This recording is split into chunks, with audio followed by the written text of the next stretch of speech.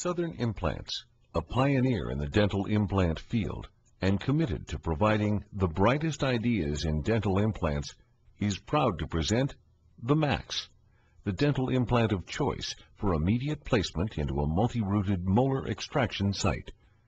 The MAX dental implant features a body with a larger than conventional diameter to fill the molar site, ultimately achieving primary stability from engagement with the perimeter bony wall. The Max has a tapered body with an enhanced surface and is designed to fit the natural shape of the molar socket. The Max is available in 8 and 9 millimeter diameters and 7, 9, and 11 millimeter lengths.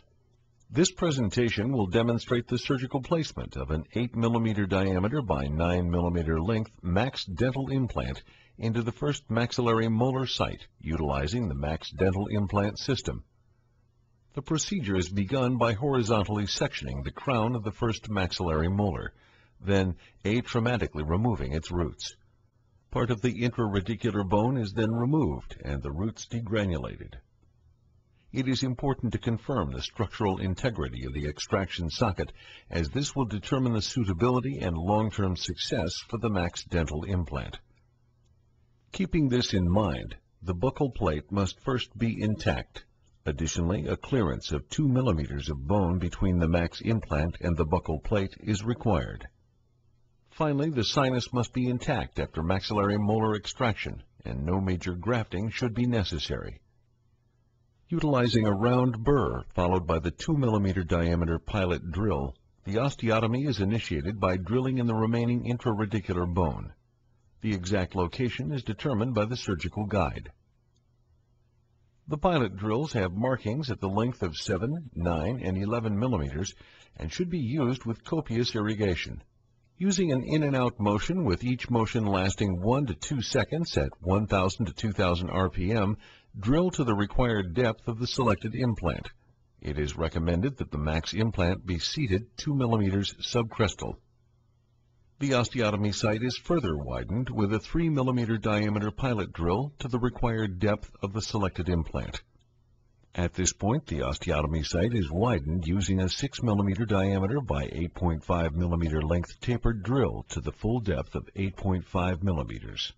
Care must be taken to maintain the integrity of the buccal plate when performing the widening.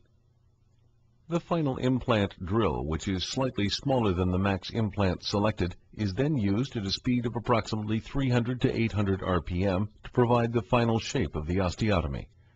The max dental implant is then carefully removed from its sterile vial with the pre-attached fixture mount and is carried to the osteotomy site where it is inserted at 15 to 20 RPM and 30 to 35 Newton centimeters.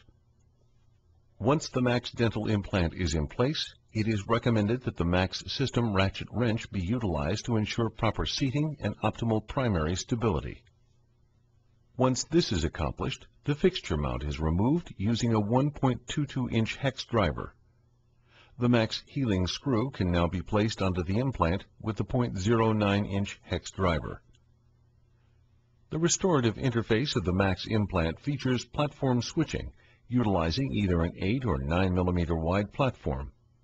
The Max implant is available with either an internal or external connection.